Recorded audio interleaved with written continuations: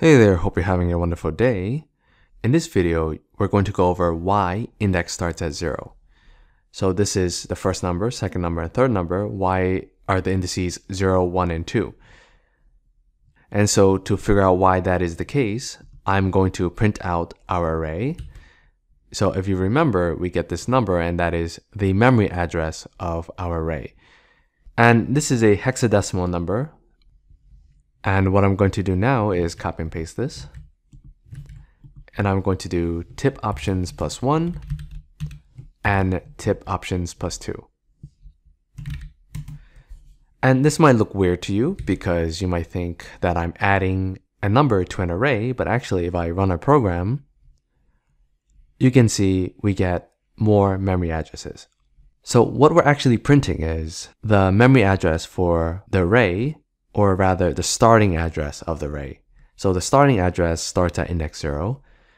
And when we do tip options plus 1 and we print this out, we are printing out the memory address for the second element. So the second block of memory, which is index 1. And then this one is the third block of memory, which is index 2. So if you look at the numbers, you can see there's a difference of 4 every time. And that is because the size of each integer, each block is 4 bytes. So this is 4, and then the next 4 will be 8, and then the next 4 will be 12. But because hexadecimal is 16 digits, we cannot write 10. So therefore, we have 0 to 9 in a decimal system. And in a hexadecimal system, after 9, we have A, which is 10, B, which is 11, and C, which is 12. So after 0 to 9, we use the alphabet to denote the digits. And if I run the program, the memory addresses aren't always going to be the same, okay? So I'm going to take these values and use them as my example. So just to visualize this, I drew our stack memory and tip options. We have an array and it allocates three blocks of memory over here. So I only copy it over the last three digits because there's no point in copying the rest because they're all the same. And basically, when we want to find, for instance, the value at the second index, C++ needs to figure out where that memory address is.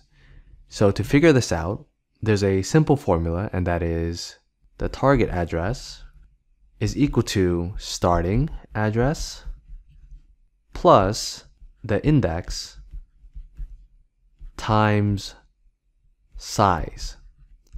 So in this case, each individual size is 4. And this is 4 bytes. So this is 4 bytes, this is another 4 bytes, and this is another 4 bytes. Okay? So here is the offset, meaning how far from the starting address do we need to search. So index starts at 0 because if I want to look for the first element or the zeroth element, if index is 0, then there's no offset. This is 0, right? 0 times anything gives us 0.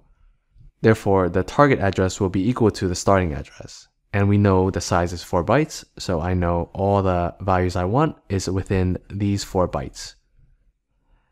And let's say I want the value at index 2. Well, it'll be the starting address plus 2 times 4, which is 8.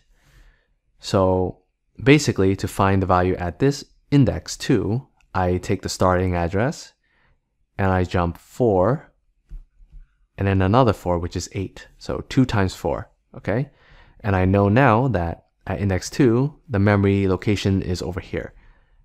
And then the size is 4, so the value I'm looking for is within these 4 bytes, okay? Alright, so hopefully you understand why index starts at 0. And if you found this video helpful, make sure you give this video a like and subscribe so that you can stay up to date for more C++ tutorials or programming tutorials in general.